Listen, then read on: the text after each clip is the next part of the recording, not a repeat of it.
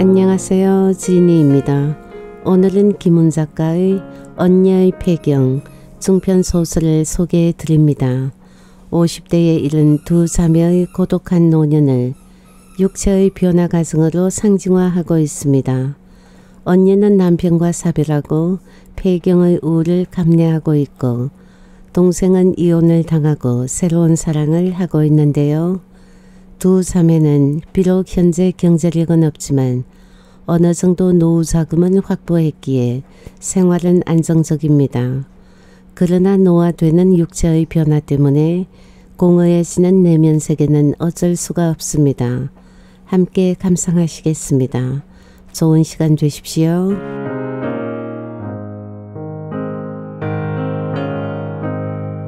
언니의 폐경 지연이 김훈 내 아파트에 오는 날이면 언니는 늘 베란다 창문 앞 테이블에 앉아 저녁 낮을 보냈다. 저녁 무렵에 언니는 좀 수다스러워졌다. 수다라기보다는 말문이 겨우 트이는 모양이었다. 여성 잡지의 갱년기 특집을 보니까 폐경을 맞는 여자들은 저녁 무렵에 근거 없는 불안을 느낀다고 적혀 있었는데 언니의 저녁 수다가 그 불안과 관련이 있는 것인지는 모르겠다. 저녁 무렵에 언니가 하는 말은 거의가 하나마나한 말이었다. 언니의 말은 노을이나 바람처럼 종잡을 수가 없었고 멀게 들렸다. 들렸다기보다는 스쳤다고 해야 맞겠다. 나는 늘 언니의 말에 대꾸할 수가 없었다. 예, 비행기가 꼭 물고기 같구나. 저 지느러미 좀 봐. 아파트 베란다 창문 너머로 강화도 쪽 저녁 노을 속으로 스며드는 비행기를 바라보며 언니는 그렇게 말했다. 김포에서 뜬 비행기가 한강 하구 쪽 하늘에서 상어처럼 커 보이다가 붕어만큼 작아지면서 짙은 노을 속으로 사라질 때까지 언니는 강화 쪽 하늘을 바라보고 있었다. 예, 꼭 버들치 같다. 대가리가 반짝거리네. 꼬랑지에 등이 켜졌어. 예, 좀 봐. 예라고 나를 부르기는 했지만 언니는 등을 돌리고 창밖을 바라보고 있었다. 언니가 창밖을 내다보는 시간에 나는 싱크대 앞에서 저녁을 준비했다. 예, 어쩜 저렇게 스미듯이 사라질 수가 있니? 한강은 하구에 이르러 아득히 넓어졌고 저녁 썰물에 드러난 개펄 위에 새들이 모여 있었다. 서해 쪽으로 물려나면서 낮아지는 산들의 잔영이 저녁 어스름에 가물거렸다. 구름이 없는 날 노을은 나무 거칠 것 없는 빈 하늘에 가득 찼고 가득 찬 노을은 오히려 비어있는 것처럼 보였는데 들여다보면 깊어 시선은 한없이 빨려 들어갔다.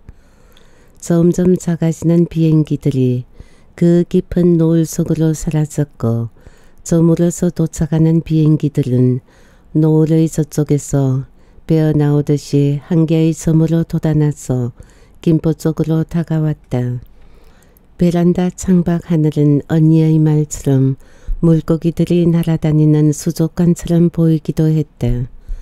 예, 저 안에 정말로 사람들이 타고 있는 거야? 노을이 사위고 강 건너 김포 쪽 시가지에 불이 켜질 때까지 언니는 저녁 하늘을 바라보았고 나는 언니의 테이블에 와인이나 데운 우유를 가져다 주었다. 언니는 찬 가장자리를 조금씩 핥았다. 나이 들어가면서 언니는 점점 입맛이 까다로워졌다. 어렸을 때부터 언니는 고기 굽는 연기를 역겨워했는데 폐경을 맞고 나서부터는 김치찌개에 돼지고기 한 점만 들어있어도 찌개 그릇을 밀어냈다. 고기를 건져내고 떠주면 언니는 국물 냄새만 맡고도 육기를 알아차렸다. 언니는 고기나 비린 생선을 거의 먹지 못했다. 나이 들면서 언니는 겨우겨우 먹었다. 봄에는 달래와 냉이를 쌀게 썰어 반반씩 섞고 거기에 흰 쌀밥을 비벼 간장과 깨소금을 쳐서 먹었고 여름에는 물에 만 밥 위에 새우젓을 한 마리씩 또는 파래 무침을 한 올씩 얹어 먹었다. 고추장에 찍어 먹는 오이지도 언니의 여름 반찬이었다. 언니가 까탈없이 편안해하는 반찬은 꽈리고추를 넣고 간장에 졸여낸 멸치볶음, 미나리를 썰어 넣은 물김치, 그리고 연근 부침이었다. 2년 전에 죽은 형부는 남해안 자유무역단지 안에 있는 제철회사의 중역이었다. 형부는 평생을 일에 파묻혀 살았다. 과장 부장 때는 철광석 원자재 수입이나 철강 제품 수출 업무를 맡았고 상무로 승진한 후에는 생산직 근로자가 1만 명이 넘는 회사의 노동쟁이와 인사관리를 담당해 왔다.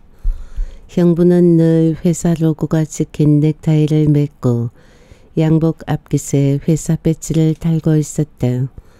형부는 생애의 대부분을 남해안 현장에서 근무했고 주말이나 휴가 때면 서울에 다녀갔다.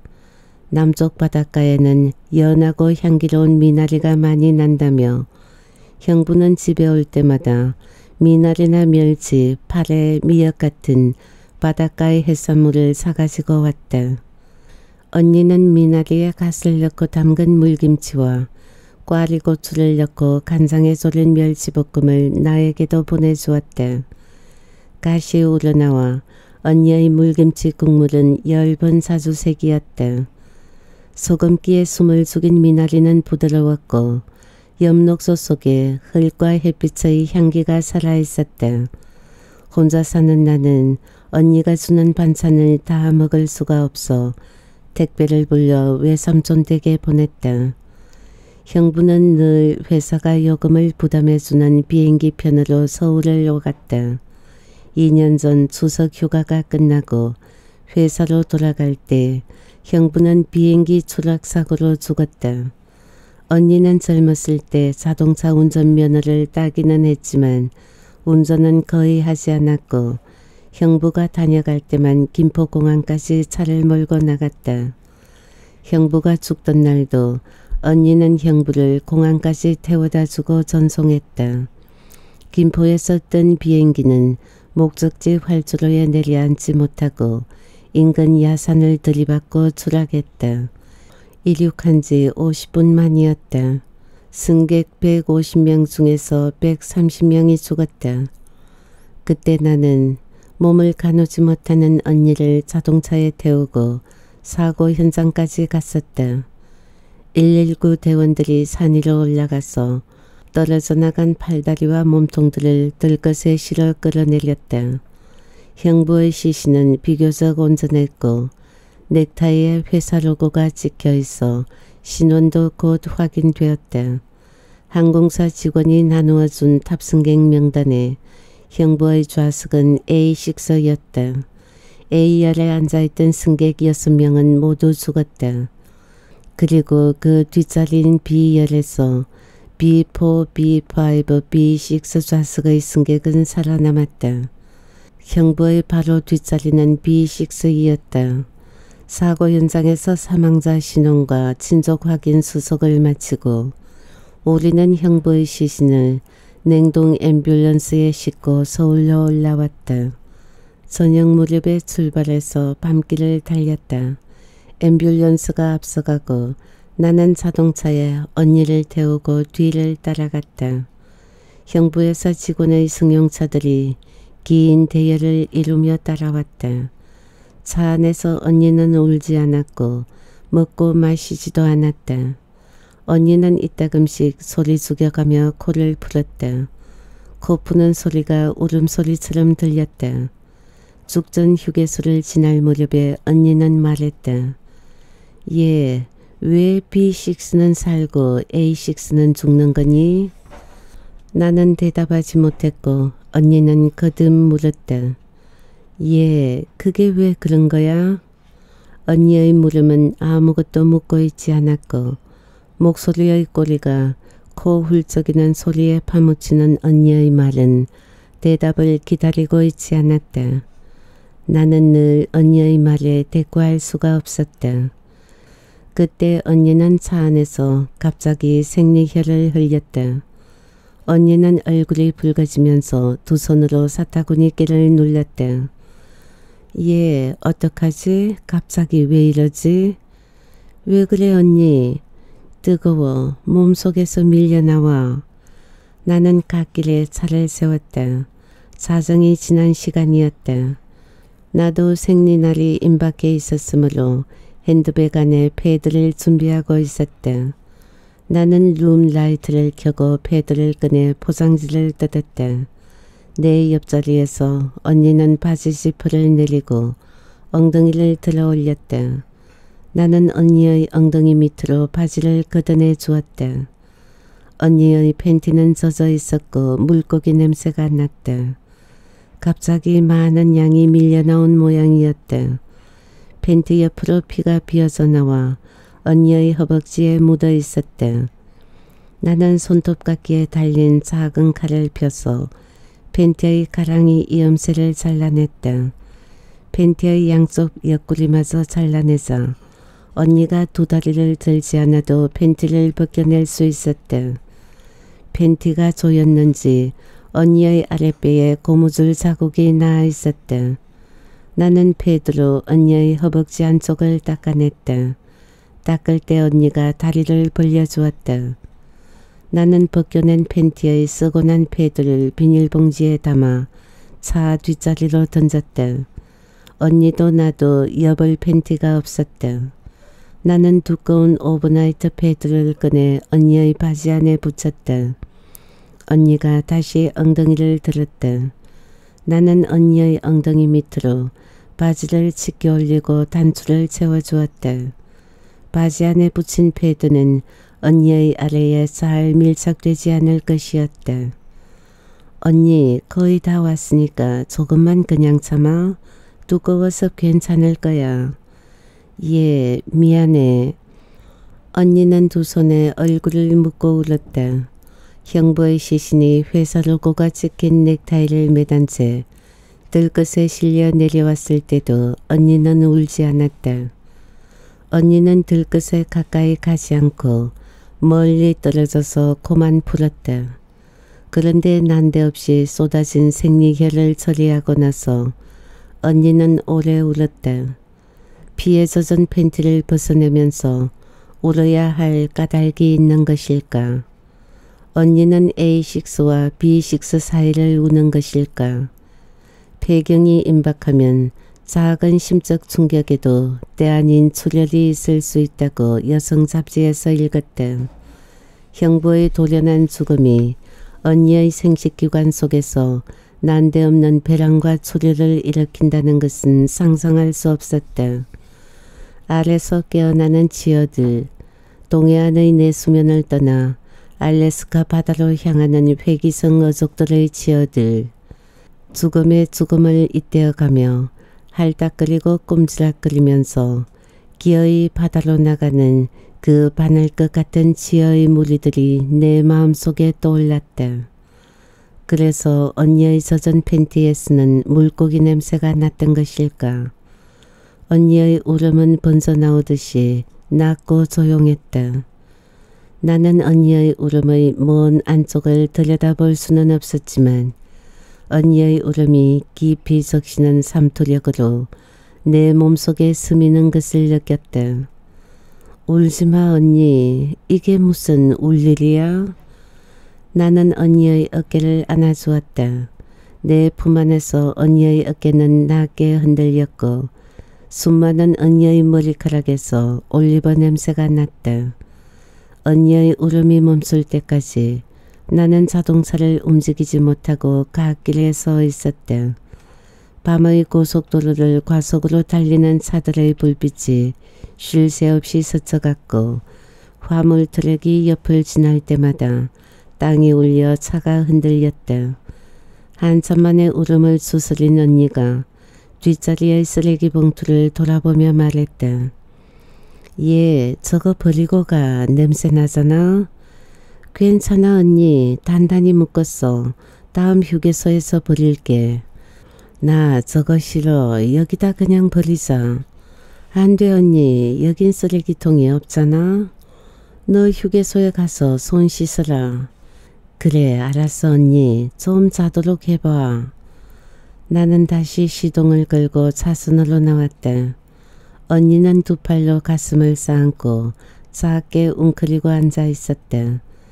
춥지는 않았지만 히터를 켰다. 그날 밤 언니는 바지 안에 팬티를 입지 못하고 서울로 돌아왔다. 언니의 배경은 느리게 진행되었는데 그날이 아마 증세의 시작이었던 것 같다. 서울 요금소를 지날 때 언니는 말했다. 얘, 왜 몸에서 그런 게 나오니? 나는 대답하지 못했다. 내 13평짜리 아파트는 거실이 따로 없고 방 한 칸의 주방과 다용도실 뿐이어서 베란다에서 싱크대까지는 10걸음 정도였다. 베란다 창가에 앉아 저녁 하늘의 비행기를 바라보던 언니가 얘 어쩜 저렇게 스미듯이 사라질 수가 있니? 저 안에 정말 사람들이 타고 있는 거야? 라고 말했을 때도 나는 언니의 말이 너무 아득해서 가슴이 막힐 듯 했다. 나는 싱크대 앞에서 꽈리고추를 넣고 멸치를 볶아 저녁을 준비하고 있었다. 멸치는 아직 간이 덜 뱄는데 고추가 너무 익어 물렁해진 것이 아닌가 싶었다. 가스레인지 불꽃을 줄이고 고추를 붉기가 약한 프라이팬 가장자리로 모았다. 간장에 졸여지는 꽈리고추의 짭짤한 향기가 방 안에 퍼졌다. 예, 그거 좀 짜지 않겠니? 언니는 여전히 창밖으로 고개를 돌린 채 말했다. 좀 짜지 싶다. 냄새만 맡고도 간을 알 수 있는지 언니의 말은 창밖의 저녁 안개 냄새를 맡고 하는 말처럼 들렸다. 언니가 얘 그거 좀 싱겁지 않겠니? 라고 말했어도 아마 같은 말이었을 것이다. 언니의 등놈으로 사위는 노을이 어둠에 밀려나면서 하늘 가상자리에 겨우 걸렸고 넓은 들을 건너가는 송전탑의 불빛이 어두운 산 뒤쪽으로 숨어들고 있었다.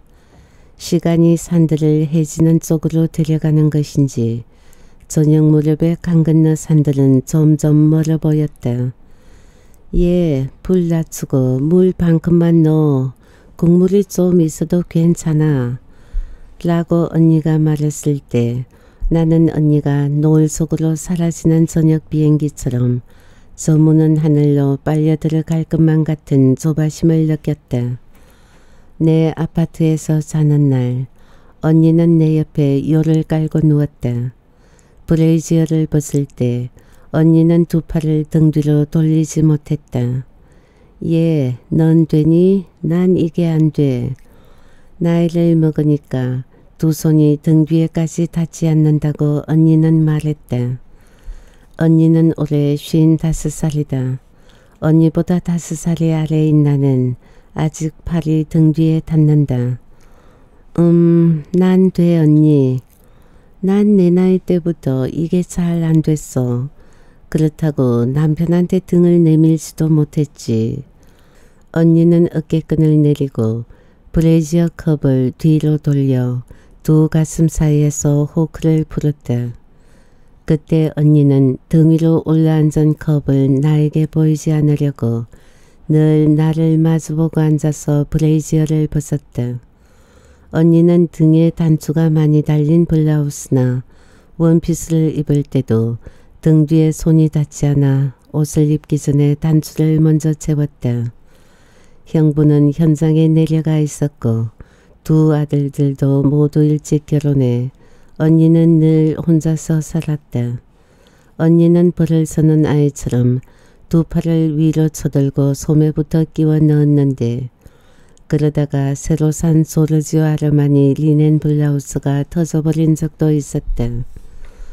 예, 블라우스가 터졌어. 연습을 더 해야 되나 봐.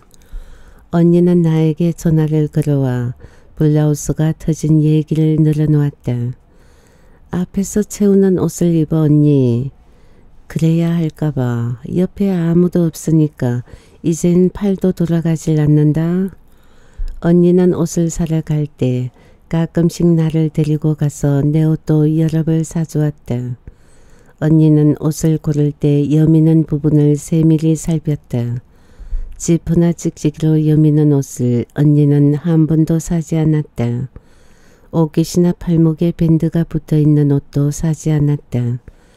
팬티는 허리춤의 고무줄이 가장 부드러운 물건을 골랐고 브레이지어는 컵 밑의 와이어가 좀 느슨하면서도 단단한 물건을 골랐다. 팬티 한 장을 고르는데 한 시간 이상이 걸릴 때도 있었다. 언니는 단추나 끈으로 여미는 옷만을 좋아했다. 단추가 옷감에 너무 꽉 들려붙어 손을 압박하는 옷을 언니는 사지 않았다. 언니는 옷감의 두께만큼 옷감으로부터 떨어져 있는 헐렁한 단추를 좋아했다. 손이 등에 닿지 않는 언니가 뒤에서 여미는 블라우스를 입고 또 벗는 일은 쉽지 않았다. 언니는 위에서 세 번째와 네 번째 단추를 채우지 못한 채 그 위에 재킷을 입고 내 아파트에 온 적도 있었다. 나는 언니의 세 번째 단추와 네 번째 단추를 등 뒤에서 채워주었다. 나에게 남자가 생긴 것을 언니가 알고 있다는 것을 내가 알게 된 것도 언니와 함께 옷을 사러 가서였다. 언니는 내 생일 선물로 옷을 한 벌 사주겠다며 나를 불러냈다. 내가 쉰 살이 되는 생일날이었다. 날씨가 갑자기 추워져서 나는 앙고라 스웨터 위에 트렌치 코트를 입고 나섰다. 언니는 스웨터 가게에서 캐시미어로 만든 이탈리아제 마일로 스웨터를 골랐다. 보라색의 네크라인은 반폴라였다.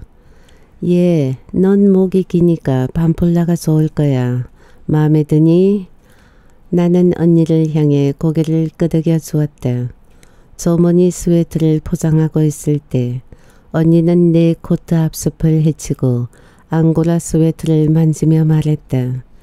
얘, 너 이 앙고라 입지 마. 왜 언니? 이게 어때서? 얼마나 포근한데. 앙고라는 털이 빠지잖아. 캐시미어는 털이 안 빠져. 남자 옷에 털 붙여서 보내지 마. 언니는 내 머플러에 붙은 앙고라 털 몇 개를 떼어주었다. 언니의 삶은 사소하고 하찮은 것들로 가득 차 있었다. 그 하찮은 것들이 늘 언니의 삶을 짓누르고 언니는 거기에 걸려 헤어나지 못했지만 언니가 내 머플러에 붙은 앙고라 털을 떼어줄 때 나는 그 하찮은 것들의 무게를 생각했다. 언니는 어떻게 알았을까? 나는 언니가 내 아파트에 올 때마다 남자의 잿더리 면도기, 양말 가운 같은 것은 모두 보사기에 싸서 다영도 실박 사과괴짝 속에 넣어 언니의 눈에 띄지 않게 했는데 혹시 내가 챙기지 못한 물건을 언니가 본 것이 아니었을까? 아니면 하찮고 사소한 것들에 예민한 언니가 내 좁은 아파트에서 그가 피우고 간 담배 냄새나 남자의 발냄새를 맡은 것일까. 남자 옷에 털 붙여서 보내지 마 라는 말은 그가 유부남이라는 사실까지도 언니는 알고 있다는 암시였을까. 그러고 보니 언제부터인가 언니는 나한테 오기 전에 꼭 전화를 걸어 예, 나 오늘 저녁 5시쯤 가도 되겠니? 자고 가도 되겠어? 라고 물어왔다. 그가 오기로 되어 있는 날에 나는 미국에서 친구가 왔네. 동창생 아들이 결혼을 하네 하면서 언니를 따돌렸다. 언니가 사준 캐시미어 스웨터를 받아들면서 나는 그이가 정말로 앙고라 털을 양복에 묻혀 그의 집에까지 가져간 것이 아닌가 싶어 불안했다. 더구나 내 앙고라 스웨터는 털이 길었고 색깔은 엷은 핑크였다. 백화점 문을 나섰을 때 언니는 또 무심한 어조로 말했다. 너 머리카락은 아직 안 빠지니? 감을 때는 좀 빠져 생리 때도 좀 빠지는 것 같아. 빠질 때도 되었지. 빠지면 위로 틀어 올려서 실핀으로 찔러 머리카락도 옷에 잘 붙는단다. 언니는 내 아파트에 기척이 남아있는 어떤 사내가 유부남이라는 확신을 가지고 있는 모양이었다. 언니의 확신이 틀린 것은 아니었다. 나는 대답하지 못했다. 언니는 또 말했다. 너는 목 뒤가 예뻐서 머리를 틀어 올리면 좋을 거야. 키도 더 커 보이고. 실핀으로 머리 뒤쪽을 동여 놓으면 형태가 고정되고 머리카락이 흩어지지는 않겠지만 남자의 손길을 받기가 불편하고 머리카락이 한데 뭉쳐 남자가 좋아하지 않을 거라고 나는 언니에게 말해줄 수가 없었다. 언니, 머리를 뒤로 틀어 올려서 실핀으로 고정시키면 보기에는 좋아도 안기기에는 좋지 않아. 라고 언니에게 말해줄 수는 없었다. 캐시미어 스웨트를 선물로 받은 대가로 나는 언니에게 나의 행실을 모두 자백하고 인정한 꼴이 되기는 했지만 언니는 그 후로 내 아파트에 드나드는 웬 남자에 관한 일을 입에 담지 않았다. 그이가 올 때 나는 언니가 사준 캐시미어 스웨터를 입었지만 머리를 틀어 올리지는 않았다. 언니는 캄캄한 어둠을 무서워해서 잘 때도 늘 전기 스탠드의 작은 등을 켜야 했다. 언니는 늘 요 위에 풀먹인 옥양목 시트를 깔았다. 언니가 자리에서 몸을 뒤척일 때는 마른 풀이 서걱이는 소리가 들렸다. 언니의 폐경 증세는 느리고도 오래 계속되었다. 생리가 몇 달씩 끊어졌다가 갑자기 출혈이 있기도 했다. 나는 언니를 위하여 옥양목 시트를 손질해 두었고 두꺼운 overnight 패드를 준비해 두었다. 낮에 그가 다녀간 날 밤에 언니가 내 옆에서 자고 갈 때면 나는 내 여의 시트가 너무 구겨졌거나 뭐가 묻어있는 것이 아닌가 싶어 언니가 오기 전에 시트를 새 것으로 바꾸었다. 지난번 정월 대보름 밤에도 언니는 내 아파트에 와서 자고 갔다. 강 건너편 산 뒤에서 달이 솟았다. 달빛은 다용도실 뒤쪽까지 환히 비추었다.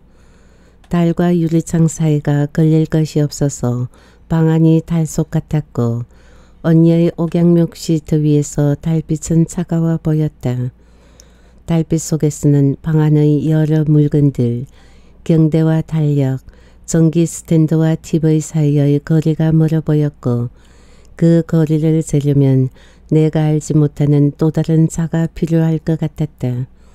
커튼을 열어놓으니까 달빛이 밝아 전기 스탠드의 작은 등을 켜지 않아도 언니는 불안해하지 않았다. 언니는 내 옆에 누웠다. 달이 이마에 닿을 듯 했고 달 속에 얼룩진 그림자까지 들여다 보였다. 그날 새벽에 언니는 또 생리혈을 흘렸다.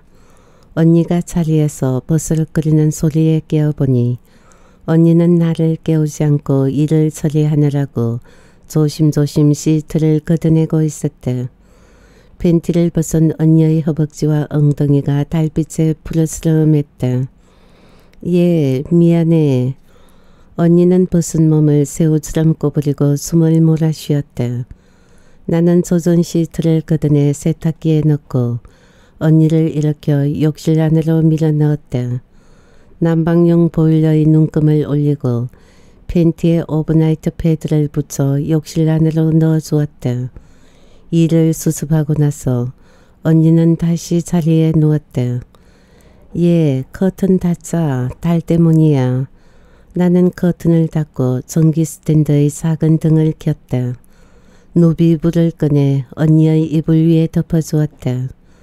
언니는 혼자서 중얼거리는 헛소리처럼 말했다.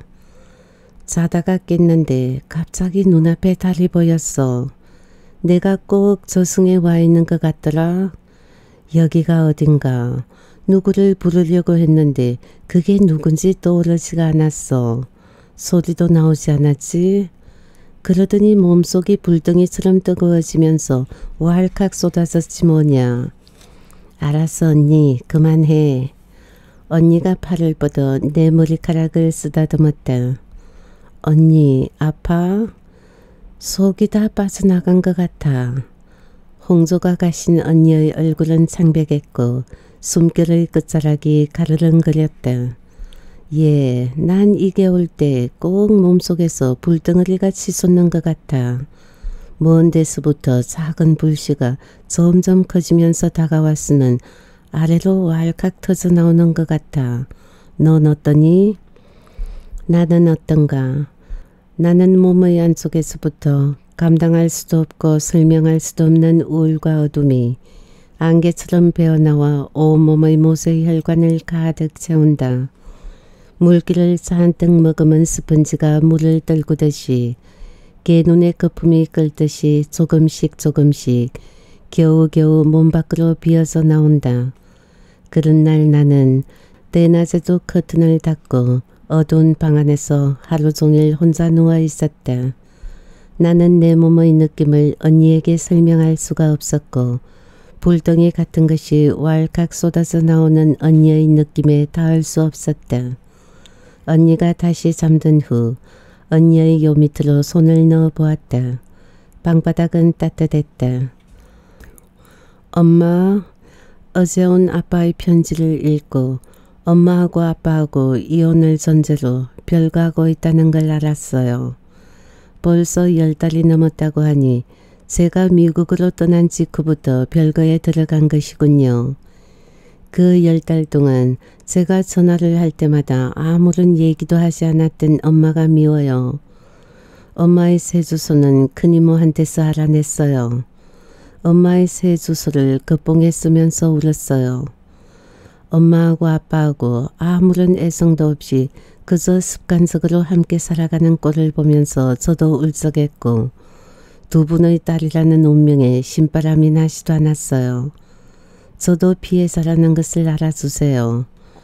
하지만 이제 와서 두 분이 각자의 길을 따로따로 정해서 간다고 해서 두 분의 앞날이 행복으로 가득 차게 되는 무슨 수가 있을까요?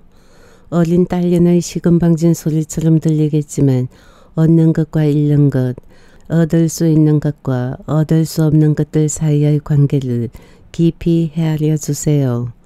저는 유학 온 지가 1년밖에 안 되었고 학위를 따르면 창창한 세월이 남아있는데 한국에서 엄마와 아빠가 헤어졌다니 막막해서 책도 손에 잡히지 않아요. 또 아빠가 편지에서 말하기를 정식으로 이혼을 하게 되면 우리 집 재산을 아빠와 엄마가 7대 3으로 나눌 계획이니까 저희 학비도 아빠한테 7, 엄마한테 3을 얻으시라고 하시니 두 분한테서 따로따로 돈을 받아야 한다면 민망해서 어떻게 공부를 잘할 수가 있겠어요. 제가 밤에 돈을 벌어가면서 공부를 계속할 만한 체력이 되지 못하다는 걸 엄마는 잘 아시잖아요. 엄마, 다시 한번 깊이 생각해 보시고 지금까지 살아온 세월 안에서 어떤 해결책을 찾도록 해주세요. 아빠한테도 같은 내용의 편지를 보냈습니다. 저의 편지가 두 분의 삶을 다시 모으는 데 작은 씨앗이 되기를 바라고 있어요. 엄마 사랑해요. 엄마의 딸 연주 올림 대학 노트를 찢어낸 종이에 마구 휘갈겨 쓴 편지였다. 새 아파트로 옮기면서 먼저 쓰던 전화번호를 바꾸지 못했다. 연주와 외삼촌에게 그리고 포항 경주 쪽에 흩어져 살고 있는 조카들에게 아파트를 옮기고 전화번호가 바뀌게 되는 사유를 설명하기가 힘에 겨워 쓰던 번호를 그대로 가져왔다. 그동안 미국에서 연주가 전화를 걸어올 때마다 그래 잘 있니? 어 그래 예 TV 보니까 미국 동부에 눈이 많이 왔다더라. 새 자동차는 별 다름니? 왜 스틱을 샀어? 오토를 사지 않고 빙판에 운전 조심해라. 넌 백미러를 잘 보지 않더구나. 어 그래 아빠야 뭐 늘 똑같잖아. 일하고 골프 치고 술 마시고 그것이 뭐 따위의 바람 지나가는 듯한 얘기만을 찌끄려 주었다. 어쩌다가 연주가 전화 끝에 아빠를 바꿔달라면 너네 아빠 출장 갔어. 아빠 출장 사선 거 너도 잘 알잖아.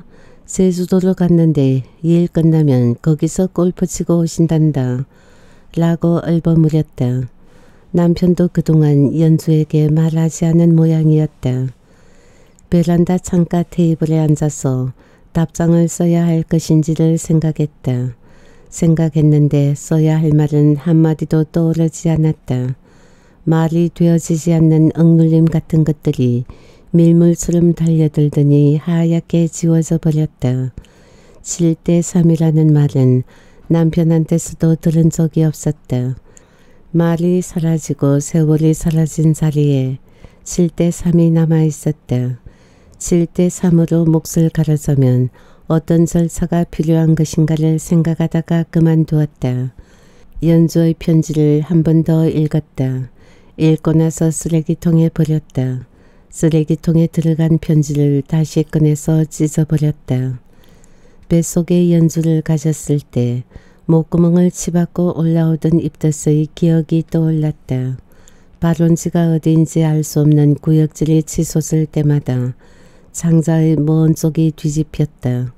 평소에는 느낄 수 없지만 몸의 먼 쪽에서 작동하고 있는 창자라는 기관의 존재와 그것들의 반란을 구역질이 치솟을 때는 느낄 수가 있었다. 구역질이 지나가면 목덜미에 좁쌀 같은 소름이 돋았고 얼굴이 홍조로 달아올랐다. 냄새가 코끝을 스칠 때마다 그 식증과 탐식증이 한꺼번에 밀려와 먹지도 굶지도 못했다. 고기나 생선을 요리하는 누린내나 비린내, 밥이 익어가는 냄새, 끓는 라면에서 퍼지는 조미료 냄새, 욕실 하수도 구멍에서 솟아나는 썩은 냄새, 비 오는 날 옆으로 스치고 지나가는 커다란 개들의 몸냄새에도 구역질이 치솟았다. 아침 안개의 비린내는 축축하게 늘어져 몸에 달라붙을 것처럼 무거웠다. 고기나 생선의 비린내가 느꼈을 때 구역질은 몸의 안쪽을 뒤집어 본 것처럼 강력하고 둥그렇고 야채와 풋과일의 비린내가 느껴질 때 구역질은 창으로 찌르듯이 날카롭고 뾰족하게 치솟았다. 그러다가 갑자기 희미하고도 얇게 비린 것, 비린내의 흔적만이 멀리 남아있는 것들이 먹고 싶어 날 옥수수나 날 고구마를 깨물어 먹은 적도 있었다. 오이는 그 분내가 너무 심하게 찔러서 깨물었다가 뱉어버렸다. 연주는 12월 초순쯤에 내 몸에 붙었다. 임신 3개월 무렵을 지나던 초봄에는 자주 졸립고 젖이 무거웠다. 졸음은 더운 물에 깊이 잠기듯이 나른했다. 나른했지만 거역하기는 어려웠다. 졸립던 그 봄날 대낮에 공원을 산책하다가 햇볕에 부푼 황토 흙을 집어먹고 싶은 충동에 쩔쩔맸던 기억이 난다. 흙 속의 장구멍 속으로 햇빛이 서며 구멍 속에서 가는 빛과 그림자들이 오글거렸다. 흙은 포근한 밀가루 빵처럼 보였다. 햇볕에 부푼 그 흙을 집어먹으면 몸이 부드러운 흙 속에 누운 것처럼 편안해지고 손가락 발가락 사이와 겨드랑이와 허벅지 그리고 자궁 속에까지 빛이 자글거릴 것만 같았다. 흙이 왜 음식으로 보이고 또 그것을 집어먹고 싶은 충동이 어째서 그토록 간절한 것이었을까. 몸이 보내오는 그 난폭한 신호가 모두 흙끝을 불려대는 복받침이며 그 거친 충동의 대상은 푸도이도 날고구마도 황토흙도 아무것도 아니라는 것을 모르지는 않았지만 그 흙끝의 헛됨이 명료할수록 헛것을 향한 몸의 충동은 더욱 간절했다. 몸이 견디어낼 수 없는 것, 창자 속으로 밀어넣을 수 없는 것을 향하여 몸을 몰아가는 몸이 바로 나의 몸이었다. 그러나 그날 흙을 집어먹지는 않았다. 이제 입덧의 기억은 멀어서 가무덥고 그때 깨물어 먹던 날고구마나 날 옥수수의 맛은 기억 속에 흔적도 남아있지 않지만 바다를 건너온 연주의 편지는 헛것을 향해 복받치던 그 낯선 충동의 절박함을 일깨워 주었다. 그때 내 몸속에 붙었던 그 어린 물고기와도 같은 유기물이 이 편지를 보내온 연주라는 사실은 믿을 수도 믿지 않을 수도 없었다.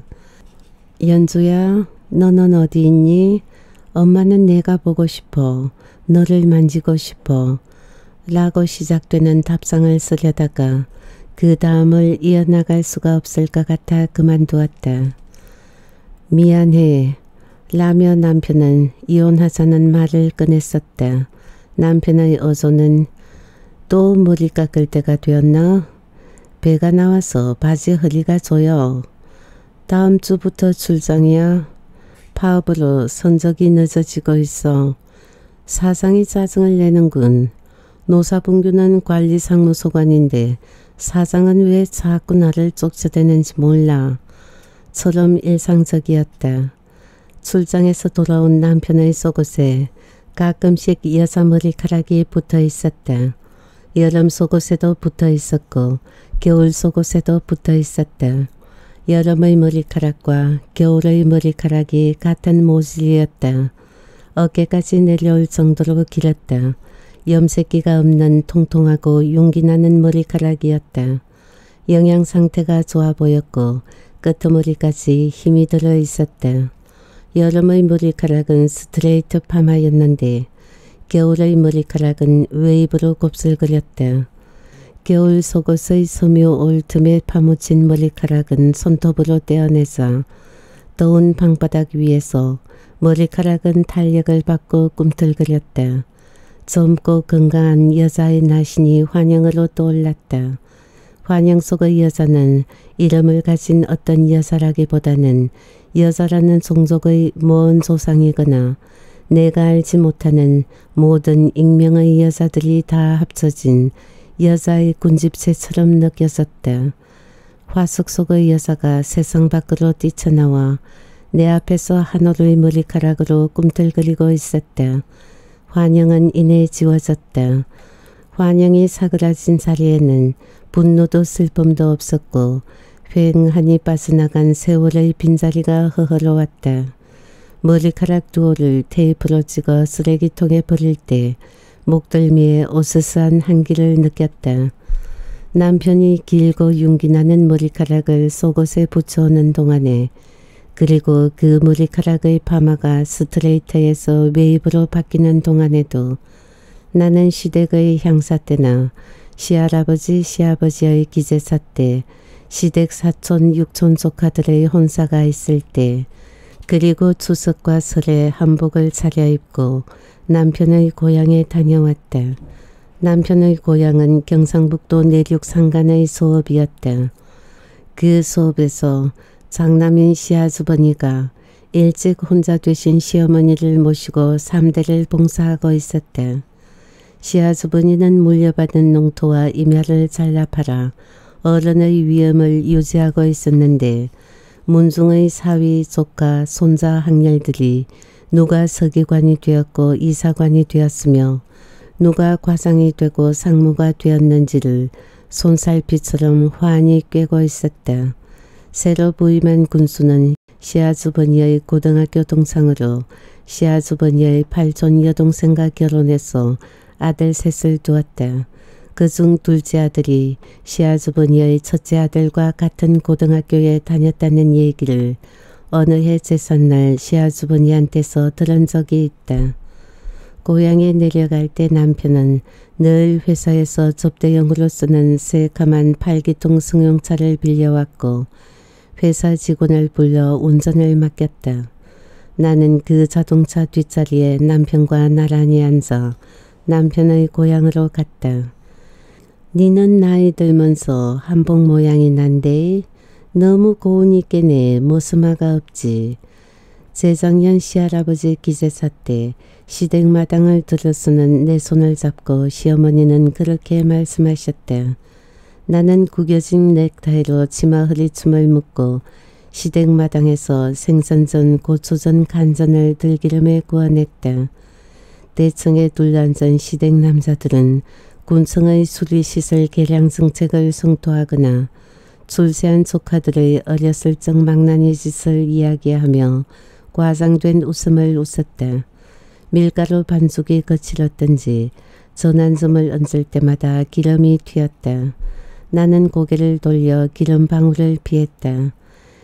야야 반죽 더 줬어라. 불은 미리 낮춥고 무릎 관절염으로 거동이 불편한 시어머니는 마당으로 내려서지 못하고 걷는 방 툇마루에 앉아 그렇게 말씀하셨다.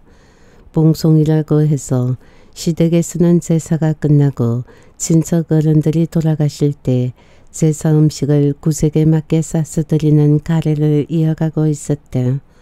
봉송을 받은 어른들은 5만 원이나 10만 원쯤 들어있는 제수전 봉투를 종갓집 며느리들에게 내려주셨다.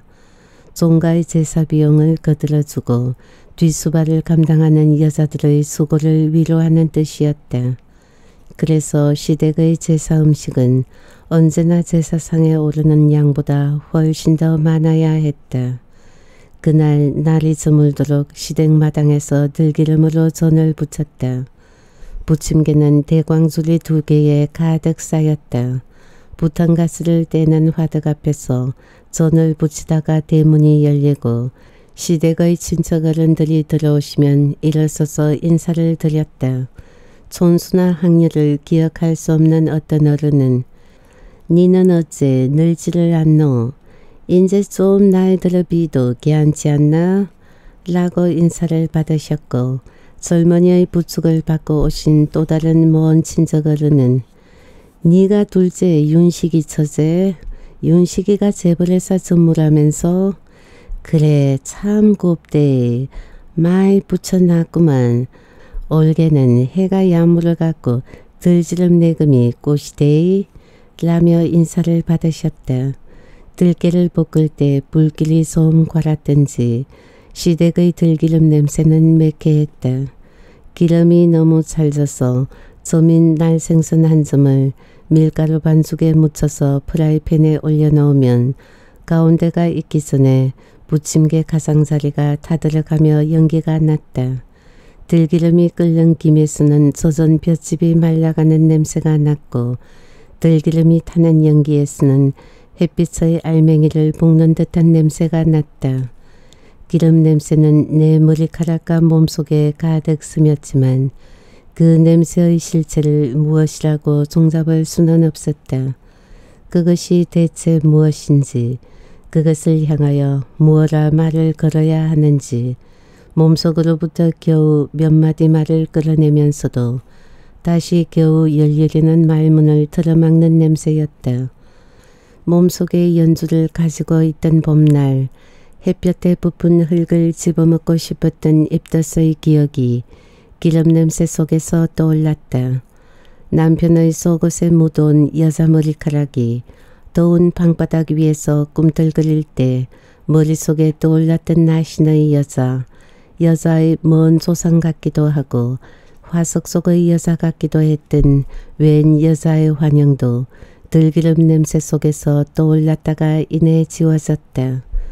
들기름이 자글거리는 프라이팬을 들여다보며 나는 지나간 시간들이 무어라 말하여 줄수 없는 채 그렇게 지워지고 빠져나갈 것만 같은 예감에 요실금이 올 듯이 아래가 조바심 쳐졌다.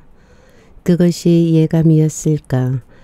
예감이 아니라 이미 지나가 버린 것들이 지나가 버렸음을 뒤늦게 겨우 알게 되는 경우는 무슨 말을 쓰는지 모르겠다.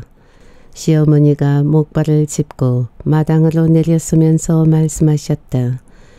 야야 머리 좀 뒤로 묶고 해라. 지름내금 벨라. 아무래도 감아야 할 텐데요 어머니. 우에 뜬동 카이까네. 안 묶으면 머리카락 못 쓴데이. 나는 흘려내린 머리카락을 뒤로 추슬러 고무밴드로 묶었다. 시어머니는 관절염과 골다공증을 오래 앓으셨다. 말년에는 기관지 천식과 녹내장이 겹쳤다. 시어머니는 밤중에 자다가 돌아가셨다. 그분의 의식 속에서 잠과 죽음은 구별되지 않을 것이었다. 시댁 문중은 흙이 다 녹은 화창한 봄날을 택해서 잠 속에서 또 잠이 오듯이 돌아가신 노인의 죽음을 평화롭게 받아들이는 분위기였다. 연포로 꽁꽁 묶인 그분의 시신은 어린아기처럼 작았다. 관 속에 모시니까 빈자리가 너무 커 염습사는 한지 두루마리를 포개 머리맡과 발치를 채웠다. 시어머니가 염을 다 받으시고 종이꽃신을 신으실 때 나는 그 죽음의 가벼움과 시할아버지 제삿날의 들기름 냄새를 생각하며 많이 울었다. 소상에 모인 문중어른들은 며느리의 울음이 딸들의 울음보다 곡진하다며 갸륵해 했다. 돌아가시기 전 추석 때 시어머니는 당신의 마지막을 하셨는지 시집 올 때 받으신 옥비녀 두 개를 큰올케와 나에게 하나씩 나누어 주셨고 출국을 앞둔 연주에게도 당신의 쌍가락질을 내주셨다. 젊었을 때부터 시어머니는 시댁의 논송을 받아가며 강 건너 마을 절에 가서 가끔씩 불공을 드렸다. 둘째 아들인 남편이 나와 결혼할 때도 시어머니는 사흘 동안 나안정과 산신각을 오가며 지성을 드렸다. 돌아가신 후에 딸들이 49제를 모시려 했지만 문중에서 허락하지 않았다. 시어머니 초상을 치르고 나서 한 달 후에 연주는 미국으로 떠났다. 공항에서 연주를 보내고 돌아온 날 저녁에 남편은 미안해 라며 이혼 얘기를 꺼냈다. 남편이 선택한 시점은 온당해 보였다. 부모가 모두 세상을 떠나고 자식이 눈앞에 없을 때 헤어짐으로써 혈연으로 맺어지는 관계들에 대한 상처를 줄이자는 것이 남편의 헤아림이었다. 왜 함께 살아야 하는지를 대답할 수 없었으므로 왜 헤어져야 하는지를 물을 수가 없었다. 왜 라는 말이 너무나도 무력해서 그 말을 입 밖으로 내보내기가 머뭇거렸었다.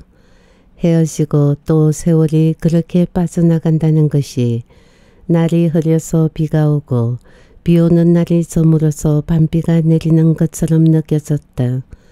그래서 미안해 라는 세음절을 앞세워 헤어지자는 이야기를 꺼낸 남편의 말머리는 적절하게 들렸다.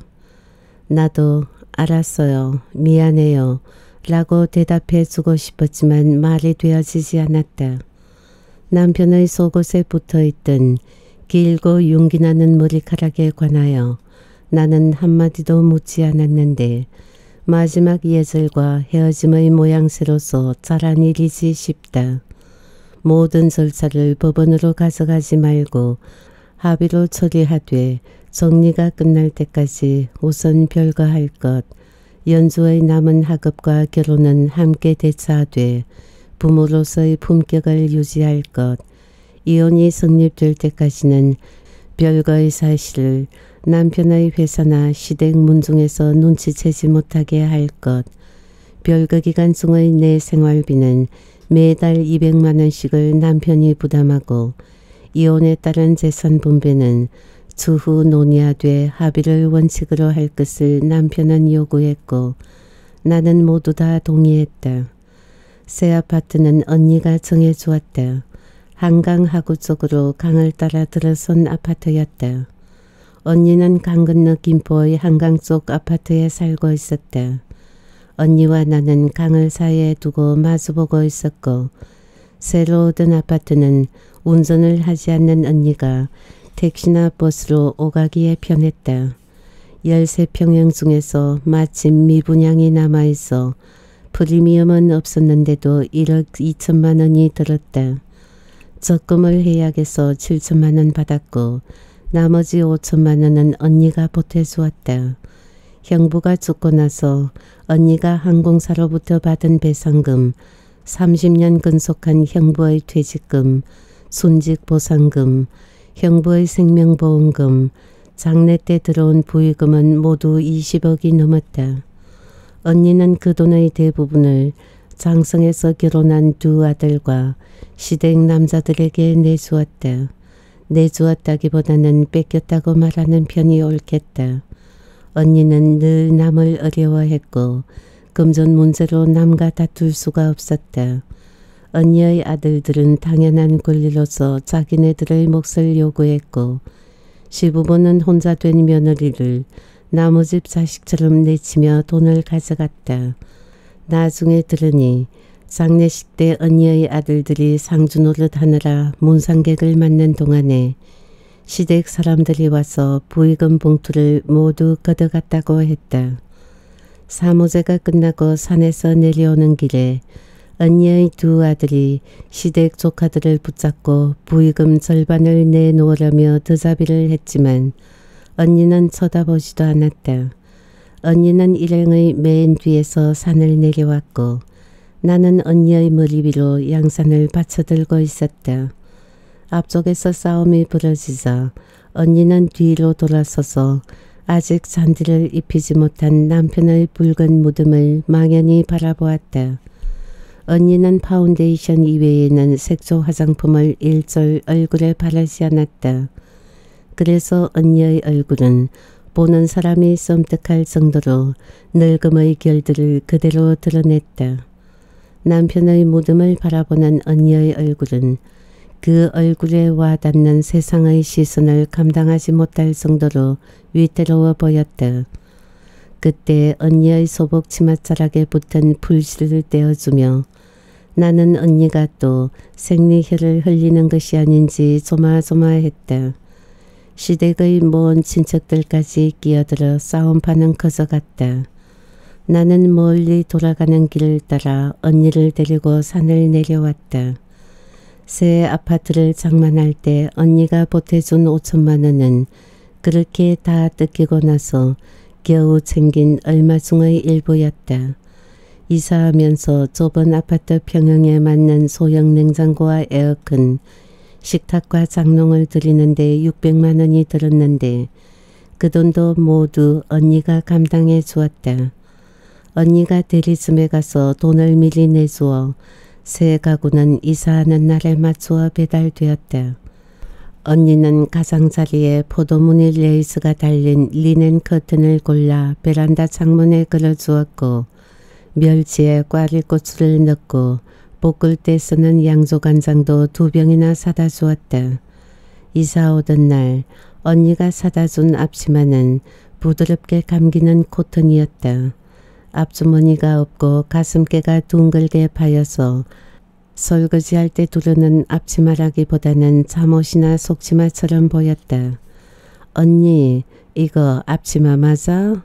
왜? 그게 어때서? 마음에 안 드니? 꼭 속치마 같잖아. 그럼 속에 입으렴? 방바닥에 엎드려 물걸레를 치고 있던 언니가 앞치마를 두르고 싱크대 앞에 서 있는 나를 올려다보며 웃었다. 언니의 웃음은 웃음의 거중만을 조금 흔들다가 사위는 소리였다. 웃음 끝이 쓸쓸해서 꽈리 고추를 볶는 팔에 힘이 빠졌다. 짐 정리를 마친 저녁 무렵에 언니와 나는 레드 와인을 한 잔씩 놓고 베란다 앞 테이블에 마주 앉았다. 여기가 8층이니 15평이지? 아니 9층이야 언니 13평이고 강이 넓어서 아파트가 한 100평쯤 돼 보이는구나. 언니는 와인잔을 둥글게 흔들며 냄새를 맡고 잔 가장자리에 묻은 붉은 액즙을 핥았다. 예, 와인 맛이 좀 뒤뚱거린다. 마셔봐. 나는 잔을 들어 입안을 적시고 혀로 입선장을 빨았다. 와인의 향기가 목구멍 속으로 퍼졌다. 신맛에 모가 나 있는 덜 익어 젊은 와인이었다. 어때? 삐걱거리지 않니? 너무 야위였어. 앙상하고 납작하구나. 뒤끝이 미끄러운 것도 같고. 언니가 저녁 무렵 좀 수다스러워지는 기미를 나는 그때 처음으로 느꼈다. 언니의 말은 누구에게도 전달되지 않는 언니 혼자만 알아들을 수 있고 언니 혼자에게만 유효한 말이었다. 그래서 아무 말도 하지 않는 것과 똑같은 말이었다. 나는 언니의 말에 뭐라고 개입할 수가 없었다. 하구의 맨 끝쪽에서 강한 서쪽으로 커다랗게 굽이쳤다. 바다는 보이지 않았지만 바다의 힘이 깊숙이 닿아서 바다가 밀어 올릴 때 강물은 도심 쪽으로 거꾸로 흘렸고 썰물 때는 바다 쪽으로 쏟아져 내려갔다.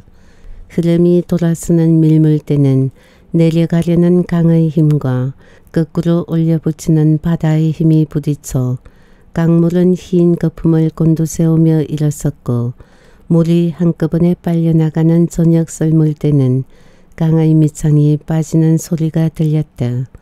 물이 다 빠져나간 저녁 무렵에는 낮게 엎드린 강의 양쪽으로 젖은 갯벌이 드러나고 강은 문득 고요해지며 구비침의 뼈대만을 드러내는데 그 구비침의 보이지 않는 먼 쪽에서 다시 밀물은 조금씩 다가오기 시작했다.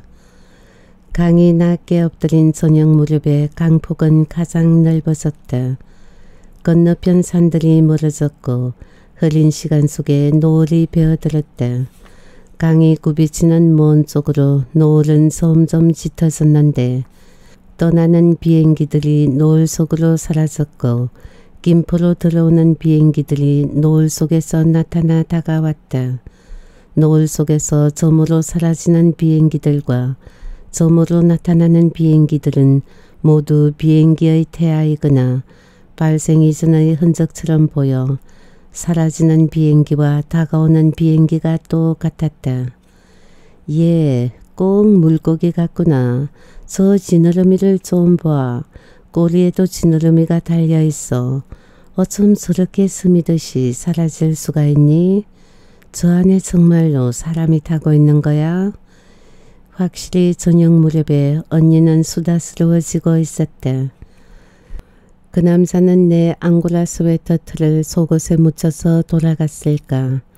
그 남자의 아내가 남편의 속옷에서 떼어낸 앙고라 털 묘돌이 그 집 더운 방바닥 위에서 꿈틀거린 것일까.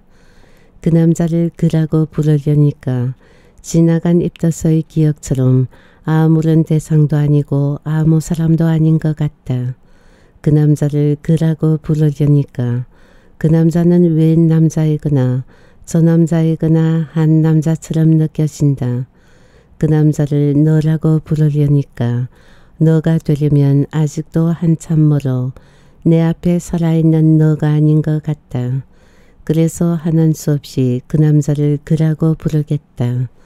아무래도 그쪽이 왠지 좀 더 정직할 것 같다. 하는 수 없다. 하는 수 없어서 그라고 정하고 나니까 그가 나하고는 사소한 인연도 없는 낯선 사물처럼 느껴져서 분하다. 견딜 수 없으니까 하는 수 없다. 하는 수 없이 그 남자를 그이라고 부르기로 했다. 그이라고 정하고 나니까 분한 마음이 조금은 가신다. 하는 수 없으니까 하는 수 없다. 새 아파트로 옮겨온 다음 날 그 일을 처음 만났다. 연주를 미국으로 보내고 또 남편과 헤어지면서 그 헤어짐의 뒤치다거리를 하는 과정에서 그이는 내 앞에 나타났다. 나타나서 다가왔는데 어디쯤 다가와 있는 것인지는 모르겠다. 이사 오기 며칠 전에 미국에서 연주의 대학이 결정되었다. 입학 수속을 위해서 재정 보증 서류가 필요하니까 아버지의 영문 재직 증명서와 지난 2년치의 소득세 원천 징수 영수증을 석달 우편으로 보내달라고 연주는 말했다. 바다를 건너오는 연주의 전화 목소리는 신기한 미래의 유혹으로 들떠 있었다. 엄마, 이 학교가 아이비리그라고 미국 동북부의 명문 대학이야. 역사가 오래돼서 건물은 모두 옛날식 대리석이고 서양 애들이 너무 멋져. 엄마도 내년에 한번 와봐. 예, 엄마도 아이빌리그 알아. 지난번에 노벨 화학상인가 의학상 받은 사람이 그 학교 교수지. 냄새의 정체를 연구했다는 사람 말이야. 냄새는 인간의 무의식 속에 각인되어 아득한 기억들을 불러온다는 것이 그 교수의 연구 결과라고 신문에서 읽은 적이 있었다. 그게 어화학이야 엄마. 나하고 전공이 같아. 대학원 가면 그 선생님한테 배울 수 있대. 너도 냄새 전공하니 힘들겠구나.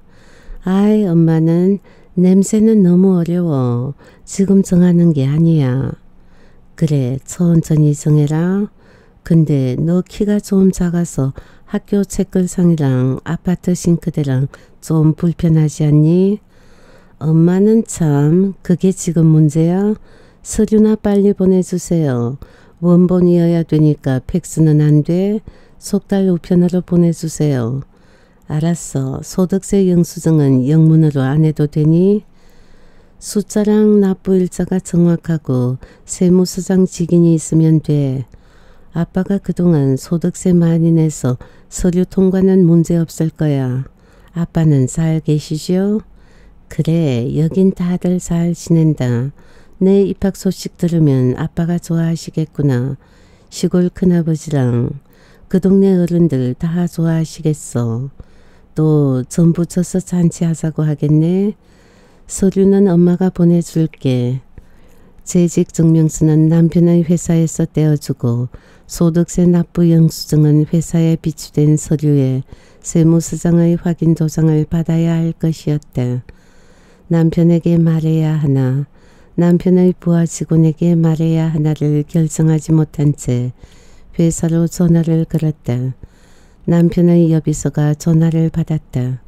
민첩하고 눈치 빠른 여자였는데 오랫동안 남편과 나 사이의 심부름을 하느라고 내 목소리를 기억하고 있었다. 아, 사모님이세요? 지난번 계열사 중력 사모님 파티 때 안 나오셔서 다들 섭섭해했어요. 회장 사모님께서 드리는 선물을 제가 보관하고 있어요.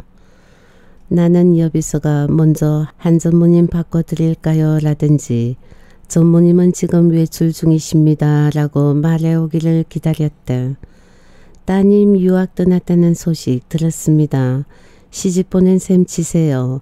한준모님도 해외 출장 중이시니까 적적하시겠네요.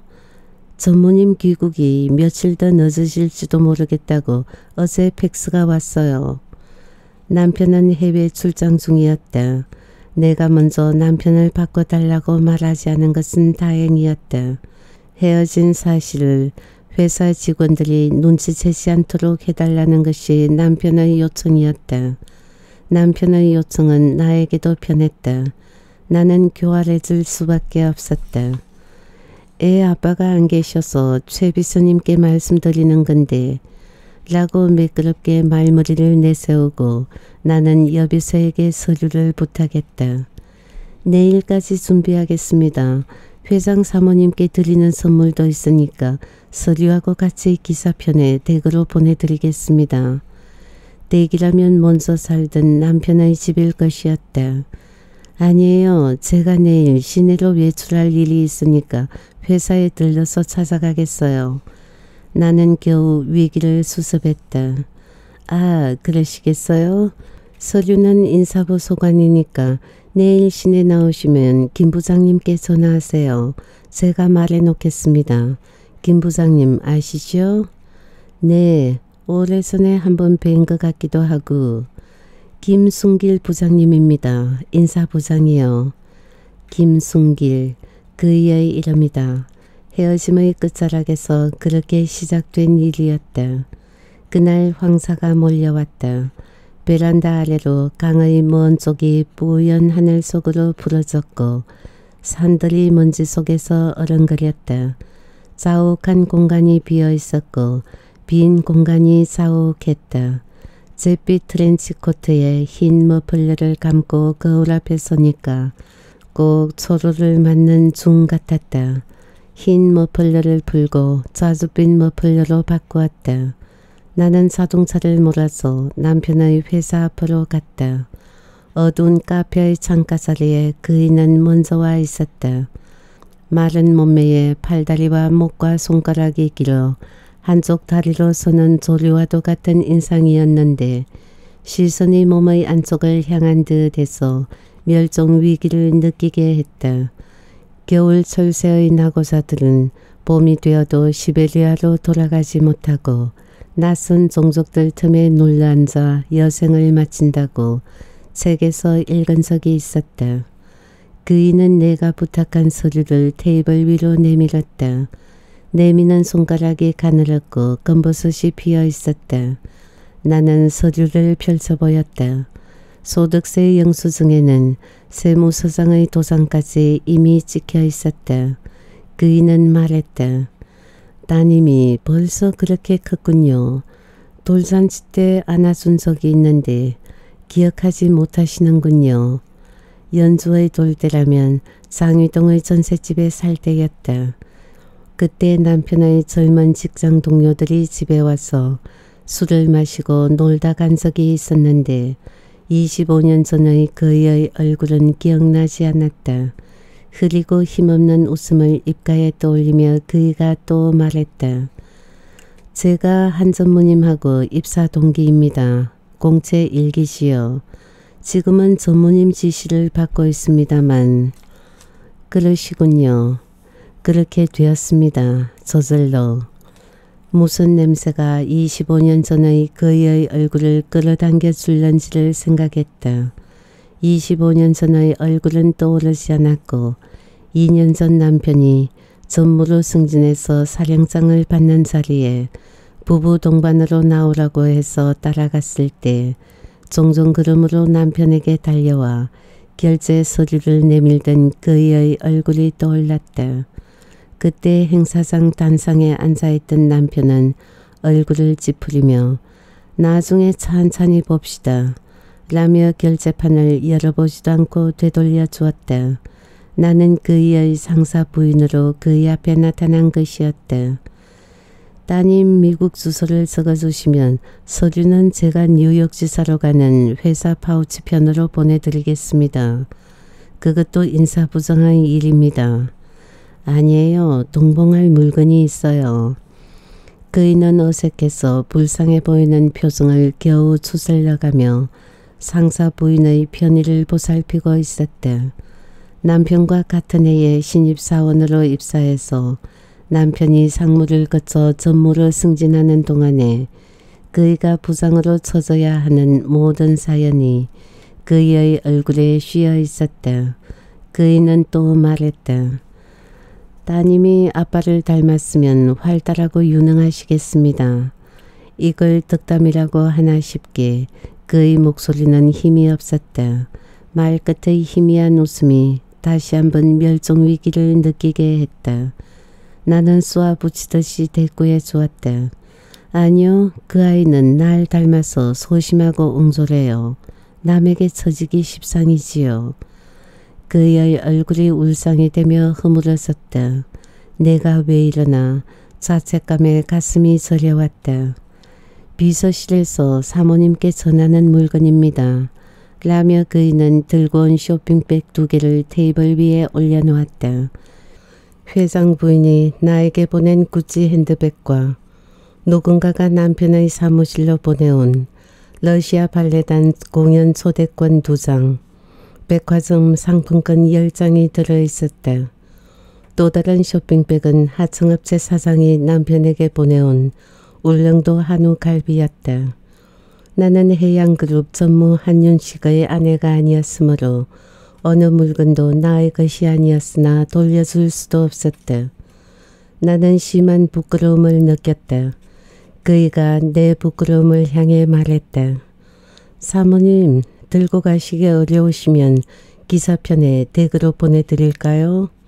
아니요, 자동차가 있어요. 카페 종업원이 녹차가 담긴 주전자를 가져왔다.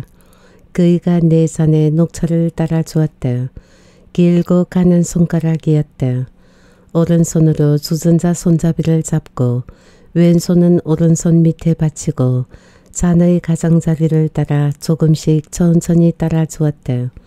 차를 따라주는 그의 모습은 이제는 잊어버린 상고시대의 종교의식을 집전하는 사제처럼 고요하게 집중되어 있었다. 자신의 생애 앞에 펼쳐지는 시간의 풍랑을 소리 없이 받아들이는 자의 고요함이었다.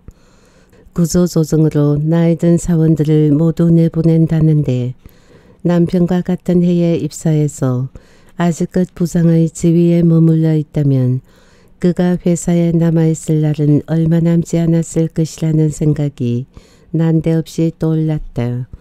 아마도 차를 따르는 그의 두 손과 그의 고요함이 나에게 그런 생각을 떠오르게 했을 것이다.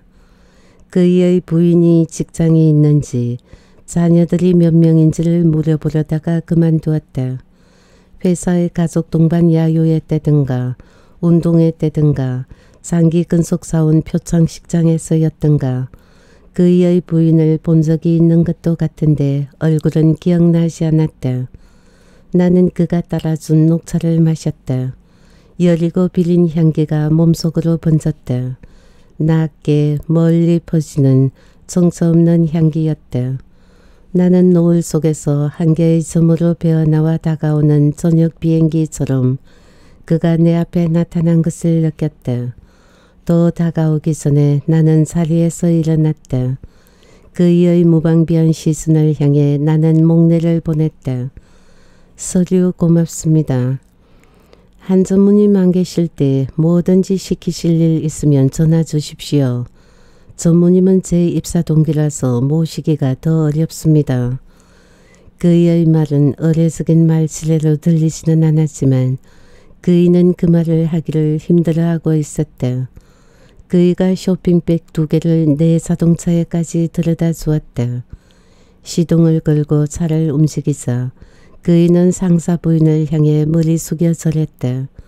그이의 긴 허리가 구부러질 때 한쪽 다리로 손새가 부리를 숙여 제 죽지 밑을 하얀 모습이 떠올랐다. 강변도로를 따라 집으로 돌아가는 길에 황사는 더욱 짙어졌다.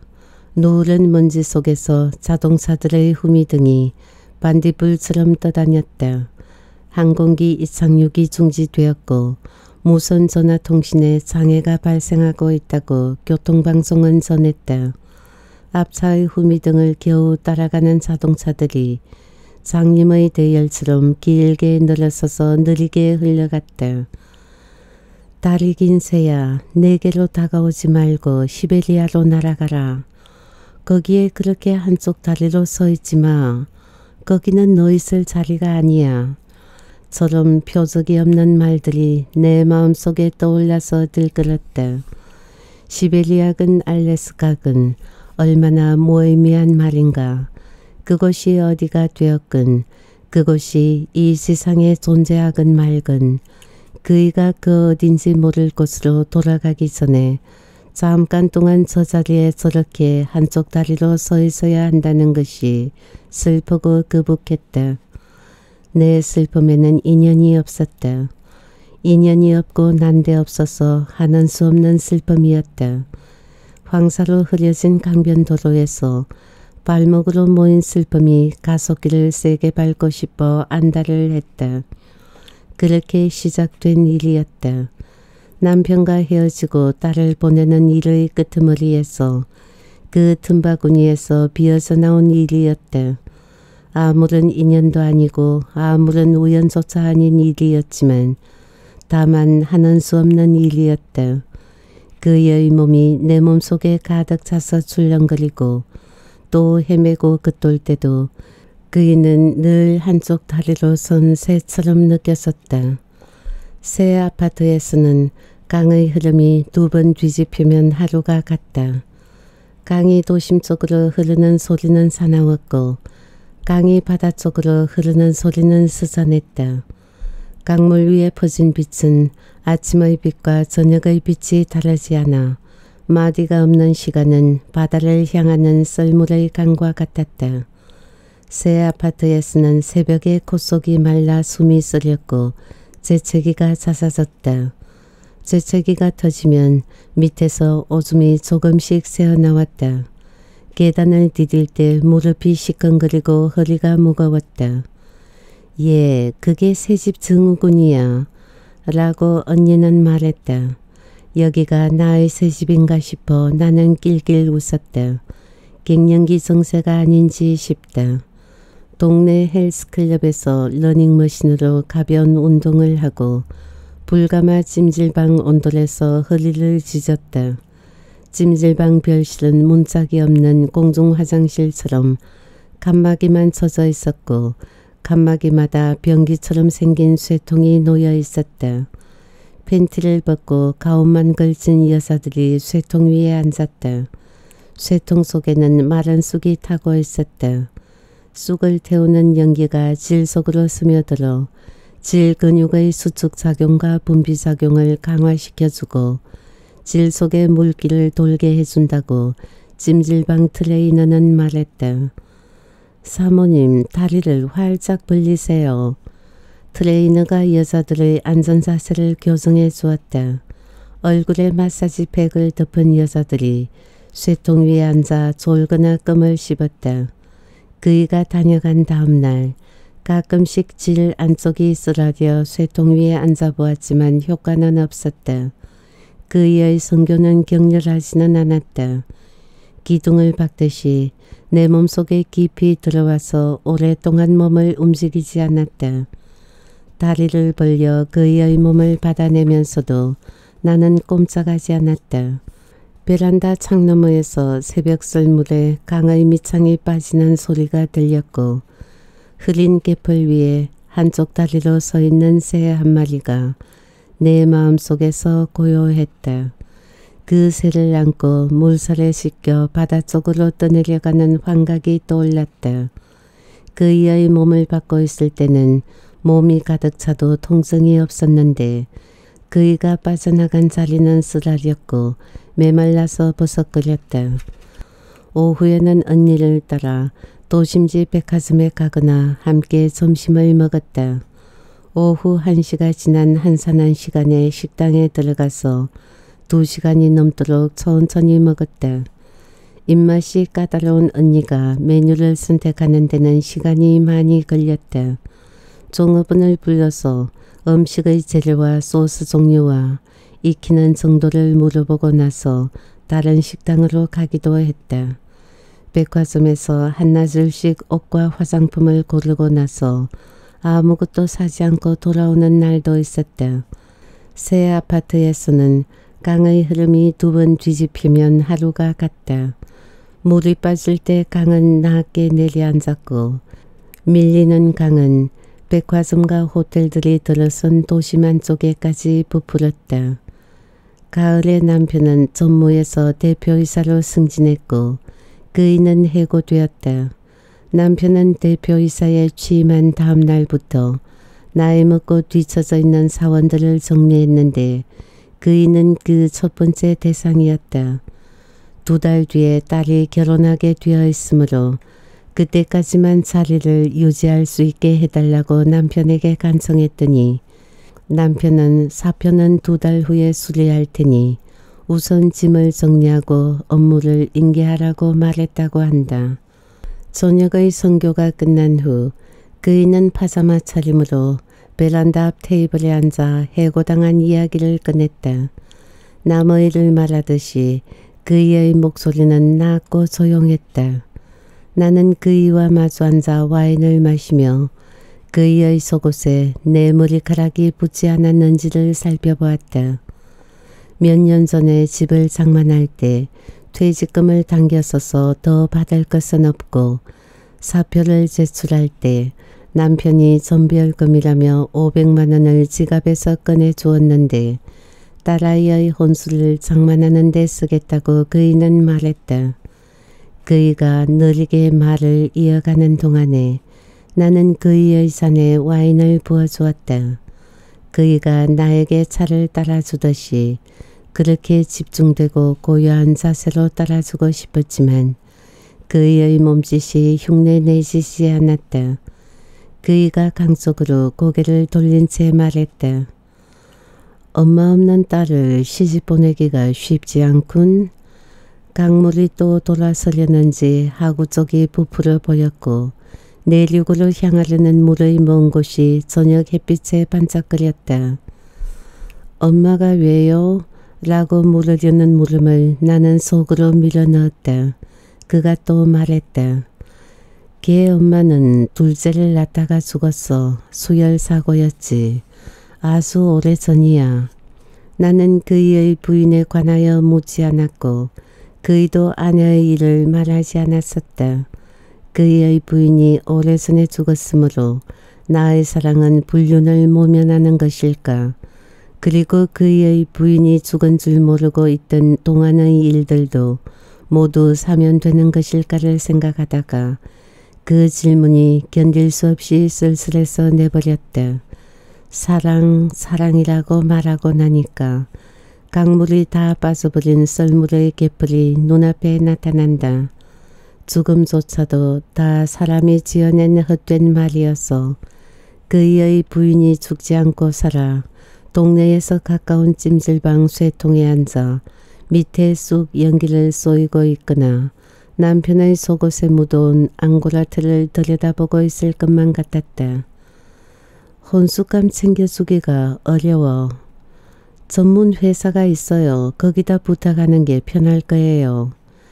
직장에서 해고된 후 그이는 낮 시간에도 내 아파트에 다녀갔다. 나는 여전히 그의 속옷에 붙는 내 머리카락을 걱정했고 그의 앞에서 앙고라 스웨트를 입지 못했다. 남편은 연말 안에 이혼 절차를 끝내고 재산과 호적을 정리하자는 뜻을 타이핑된 편지로 알려왔다. 연말까지는 3개월이 남아 있었다. 늦가을에 시아주번이 칠순 잔치가 있었다. 별거의 사실을 집안 어른들에게 알리지 못한 남편은 내가 그 칠순잔치에 동행해 줄 것을 요구했다. 이봐 다음 주가 형님 칠순이야. 가 배워야 되지 않겠어? 라고 전화로 말할 때 남편의 어조는 이혼 얘기를 꺼낼 때의 미안해처럼 일상적이었다. 시댁 어른들은 당신들의 방식대로긴 하지만 며느리인 나에게 착하고 정많게 대해주신 분들이었다. 나는 남편이 스스로 집안의 이혼을 알리고 기정사실화 해주기를 바랐고 그때까지는 시댁 어른들을 어른으로 대해드리기로 작성하고 있었다. 그쪽이 모두에게 편안할 듯 했다. 그러나 잔치 하루 전날 시댁마당에서 들기름으로 존을 붙이는 일은 감당할 수 없었다. 남편은 잔치 당일날 고향마을 면 소재지에서 나와 만나 형님 댁으로 함께 가자고 제안했고 나는 동의했다. 면 소재지 버스터미널 앞에서 남편은 새까만 팔기통 승용차 안에 앉아 있었다. 남편은 운전기사 없이 직접 차를 몰고 있었다. 내가 차 도어를 두들기자 남편이 뒷자리의 문을 열어주었다. 왜 한복을 입지 않고서 라고 남편은 말했고 나는 대답하지 않았다. 나는 남편이 운전하는 자동차의 뒷자리에 앉아 시아주번이 댁으로 향했다. 하루 먼저 도착한 소날의 올케가 마당에서 전을 붙이고 있었다. 들기름 냄새가 집안에 자욱했다. 명주 한복으로 호사하신 시아주번이 내외가 대청에서 잔치상을 받고 계셨다. 시부모님이 모두 돌아가셨기 때문에 문중은 장남인 시아주번이께 시아버지를 모시던 가래를 베풀었다. 같은 학년 동생 네배가 모두 시아주번이 앞에 나아가 절했고 조카와 사촌 동생들은 마당에 깐 멍석 위에서 절을 올렸다. 나는 남편과 나란히 시아주번이 앞으로 나아가 절을 올렸다. 시아주번이는 나이 든 제수의 절을 받기가 버거웠던지 아이고 원 시숙간의 절이라이 하면서 앉은 자리에서 고개를 숙여 맞절로 받으셨다. 나는 촌수를 알 수 없는 시댁 친척 여자와 음식상을 맞들어 사랑채로 날랐고 뒤란 텃밭에서 부추를 잘라와 젖국에 버무려 상위에 올렸다. 저녁 때 남편은 회사에 급한 볼일이 있다며 서울로 돌아갔다. 나는 돌아가는 남편의 자동차를 함께 타고 시댁을 나와 면 소재지 버스터미널 앞에서 남편과 헤어졌다. 내릴 테야 편한 대로 해. 나는 남편이 운전기사를 데리고 오지 않은 이유를 그때 알았다. 내가 내리자 남편은 다시 시동을 걸어 고속도로 쪽으로 향했다. 경주로 가는 막차가 남아 있었다. 언니의 큰아들은 결혼해서 경주에서 살고 있었다. 첫아기가 첫돌이 되어 언니는 손자의 돌잔치를 보려고 아들 집에 내려갔고 나는 경주에서 언니와 만나기로 되어 있었다. 언니의 큰아들이면 내 조카인데 조카라고 부르기가 머뭇거려지는 젊은 남자였다. 조카는 대학을 졸업하고 나서 직장 없이 빈둥거리며 외제 승용차를 몰고 다니며 돈을 펑펑 썼고 언니는 아들의 행실에 관여하지 못했다. 형부가 비행기 사고로 죽은 뒤 형부의 회사에서는 창업공신이며 순직사원인 형부의 공로를 기리느라 새로 지은 공장의 구내식당 경영권을 큰아들인 조카에게 주었다. 공장은 포항에 있었고 조카는 포항에서 가까운 경주에 자리를 잡았다. 식당 경험이 없는 조카는 지배인을 고용해서 운영을 모두 맡겼고 수익금만 챙겼다. 종업은 5천이 넘는 공장의 구내식당 수익금은 적지 않을 것이었다. 조카는 경주의 고적과 불교 문화재에 깊이 빠져들었다며 랜드로버 지프차에 카메라를 싣고 야외로 쏘다녔고 집안의 사진 현상 시술까지 들여놓고 있었다. 조카는 군대에 갔을 때 외출 나와서 훈련을 받다가 총을 강에 빠뜨렸는데 변상을 해야 한다며 언니에게 500만 원을 뜯어갔다. 언니는 총을 잃어버린 아들이 벌이라도 받게 될까봐 급에 질려 선선히 돈을 내주었다. 나중에 군대에 갔다 온 내 동창생 아들한테 들으니 군수품을 잃어버린 사병은 영창에 가는 벌을 받기는 하지만 돈으로 배상받는 제도가 군대에는 없다고 했다.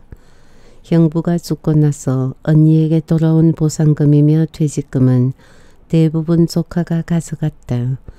조카는 언니의 시댁 사람들과 싸워서 시댁에서 몰아간 부의금 절반도 기어이 받아내 차지했다. 조카는 돈을 받아낸 날 언니에게 전화를 걸어와 이래서 여자들한테 집안일을 맡길 수 없다니깐 이라고 말했다고 한다. 이건 아무래도 키가 커야 어울리겠지? 가서라. 조카네 집에서 돌잔치를 치르던 날 언니는 구찌 핸드백을 젊은 며느리에게 선물로 주었다. 그 일을 처음 만나던 날 남편 회사의 회장 부인이 나에게 보내는 선물이라며 그이가 끝내 준 핸드백이었다. 나는 아무래도 그 물건이 나하고 인연이 없는 것 같아서 외국 여행 다녀온 친구가 준 물건이라고 둘러대고 언니에게 주었다. 에나멜을 입힌 여름용 백이었다. 아, 제키 스타일이네. 언니의 젊은 며느리는 핸드백을 팔에 걸고 거울 앞에서 이리저리 비춰보았다. 퍼스트레이디 시절의 재클린 케네디가 사교 모임 때마다 들고 나타나서 유명해진 곡선이 부드럽고 끈이 긴 스타일이었다. 거울 앞에 선 조카댁을 보니까 구찌 핸드백이 제자리를 찾아간 느낌이었다. 첫돌이 된 아기는 아들이었다. 발육이 빠른 편이어서 서너 걸음씩 뒤뚱거리며 걸었고 옹알이가 분주했다. 식탁에서 조카는 황룡사 창근의 의미, 석가탑의 비레미와 균재미, 에밀레송의 비천상 부조의 아름다움, 한국 석탑의 발전 과정에서 가문사 3층 석탑에 갖는 조형적 의미를 쉴 새 없이 말했고 언니와 나는 듣기만 했다. 주방이고 거실이고 조카가 찍어온 경주 고적 사진이 패널로 걸려 있었다. 저녁 식탁에서 아기가 집어먹은 가위바시라가 목에 걸렸다. 숨이 막힌 아기는 울지도 못하고 얼굴이 빨갛게 달아올라서 버둥거렸다. 젊은 며느리가 어쩔 줄 모르고 비명을 질러댔고 조카는 전화로 119 구조대를 불렀다. 언니가 아기를 안고 입을 벌려 손가락을 넣었다. 가이바시라는 토해지지 않았고 아기는 팔다리가 뒤틀려 있었다. 언니가 아기의 두 발을 모아 한 손으로 잡고 거꾸로 쳐들었다. 언니는 손바닥으로 아기의 등을 세게 때렸다. 언니의 어느 구석에 저런 힘과 민첩함이 숨어 있었던가 싶었다. 언니가 다시 아기의 등을 때리자 아기는 돌삭은 젖과 함께 가이바시라를 토해내고 울음을 터뜨렸다. 아기가 토해낸 젖에 언니의 치맛자락이 젖었다. 조카는 다시 119에 전화를 걸어 출동 요청을 취소했다. 아기는 당산 울음소리로 오래 울었다. 언니는 아기를 안고 얼려주며 우는 아기의 입안을 들여다보았다.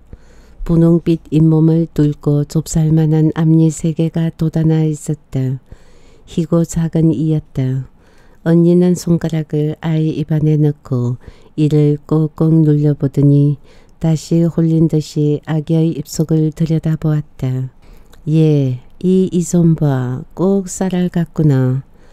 언니는 모로 아득한 것들을 극히 바라보듯이 아기의 입속을 멀리 보내는 시선으로 바라보았다.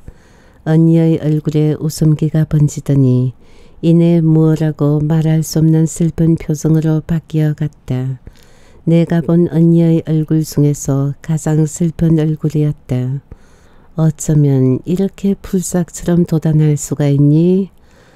서울로 올라가기 전에 나는 언니를 데리고 경주 남산으로 갔다.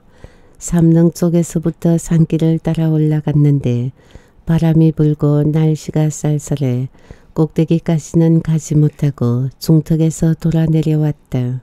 삼릉에 세워진 안내판을 보니까 신라 8대 아달라왕, 53대 신덕왕, 54대 경명왕, 그렇게 박시성 가진 임금 3명이 묻혀있는 능이었다. 8대 왕에서 54대 대왕까지는 700년의 세월이 흘렀는데 무덤은 다 똑같았고 무덤 위에 내리는 가을의 햇빛도 다 똑같았다. 능 둘레에 구부러진 소나무들이 높이 솟아서 숲은 어둑시건했고 빛들이 소나무 가지 사이로 스며들고 있었다. 언니, 이게 그 유명한 경주 소나무야. 언니는 또 먼 것들을 멀리 보는 시선으로 소나무 사이로 내리는 가을빛을 바라보았다. 나는 언니를 나무와 나무 사이 볕바른 잔디 위에 세워놓고 사진을 찍었다. 뷰파인더 속에서 언니의 머리와 어깨 위에 가을빛이 사글거렸다. 신라 8대 아달라왕 때 소나무 가지 사이로 스며들던 그 가을빛이었다. 언니 웃어봐. 언니는 억지로 조금 웃는 듯 했는데 나는 언니의 웃음기가 가시기 전에 셔터를 눌렀다. 15분쯤 산길을 올라가니 햇빛이 바르고 앞이 트인 자리마다 불상들이 나타나기 시작했다. 바위에 새겨진 불상들은 입체감이 없어 조각이라기보다는 그림에 가까웠다. 불상의 옷사랍과 입가의 엷은 웃음은 사람이 파놓은 것이 아니라 바위의 안쪽에서 저절로 스며나온 것처럼 보였다. 그 선들을 따라서 가을 햇빛이 모여 있었고 빛들은 바위의 안쪽으로 파고 들어가는 듯 싶었다. 사날의 세상을 향해 빈 손바닥을 펼쳐 보이고 있는 불상 앞에서 언니는 혼자 중을 그리듯이 말했다. 예, 저 얼굴 좀 봐. 저 손바닥 좀 봐. 어쩜 저렇게 배어나오듯이 그려 놓을 수가 있니? 나는 그때 언니가 또 생리혈을 흘리는가 싶어 불안했지만 언니는 아무 일 없었다. 등산로 입구 기념품 가게에서 언니는 작은 안내 책자를 한 권 샀다. 경주 박물관에서 관광객들에게 유적지를 설명해 주려고 만든 책자였다. 경주의 불적 왕궁이 소개되어 있었고 얘기거리 많은 고상의 옛 이야기들도 실려 있었다. 책상을 넘기던 언니가 책을 내 앞으로 내밀며 말했다. 예, 이걸 좀 봐. 풀뿌리 밑이 연화장 세 개래. 나는 언니가 내민 페이지를 들여다보았다.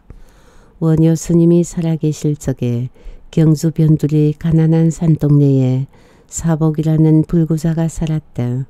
그 어머니가 죽자 사복은 원효를 불러 장사를 치렀다. 사복은 불경을 싣고 가던 우리 집 늙은 암소가 이제 죽었다고 원효에게 말했다. 두 사람은 상여를 메고 산으로 올라갔다. 사복이 풀뿌리 한 개를 뽑으니 풀 뽑힌 자리 밑으로 고요하고 정갈한 세계가 나타났다. 사복은 그 속으로 상여를 메고 들어가 어머니를 장사 지냈다. 그런 얘기가 적혀 있었다. 나는 불경을 싣고 가던 우리 집 늙은 암소라는 말이 무서워 깔깔 웃었다. 불경이라니 암소라니. 언니 월경에 왜 경경자를 쓰는 거야? 라고 나는 느닷없이 언니한테 물었다. 예, 너는 그걸 무슨 말이라고 하는 거니? 라고 언니는 대답했다. 사날의 마을에 날이 저물었고 포항 쪽에서 뜬 비행기가 노을 속으로 잠겨가고 있었다. 언니는 비행기 스미는 하늘 쪽을 오래 바라보았다. 내려가자 추워. 언니 내 스카프 줄까? 괜찮아. 너 내가 전에 사준 캐시미어 스웨터 입니? 어 지금도 속에 입고 있어 언니. 산을 내려와서 우리는 경주역으로 갔다. 서울로 가는 새마을호 열차를 기다리는데 연주한테서 휴대폰으로 전화가 걸려왔다. 들뜬 목소리였다. 엄마, 내가 서울에서 다니던 고등학교 있잖아. 고등학교 때 담임 선생님이 전화를 했는데 내가 미국 명문대학에 입학했다고 학교 성문에 내 이름을 현수막에 써서 걸어놓았대. 엄마 이름 아빠 이름도 같이 씌어있대. 엄마 학교에 한번 가봐. 가서 사진 찍어놓아. 그래 엄마가 꼭 가볼게. 사진도 찍고. 아파트 아래 강물이 지금쯤 어디까지 밀려 내려갔을지를 생각했다. 아파트 문을 열고 불을 켜기 전의 그 캄캄한 어둠을 생각했다. 열차에 오르기 전 약국에 들러 언니를 위한 overnight 패드를 사서 핸드백에 넣었다. 나는 언니 몰래 화장실에 가서 그이에게 전화를 걸었다. 여기 경주예요. 지금 올라가면 밤 12시쯤 도착할 거예요. 밤에 올 수 있어요? 그이는 기다렸다는 듯 선선히 대답했다. 그래 갈게. 대구를 지나자 날은 어두워졌다. 조문은 들판에 등불이 흘러갔고 기차가 강을 건너갈 때 물가에서 한쪽 다리로 서 있는 키 큰 새의 모습이 차창 너머로 보였다. 내 옆에서 언니는 고운히 잠들어 있었다.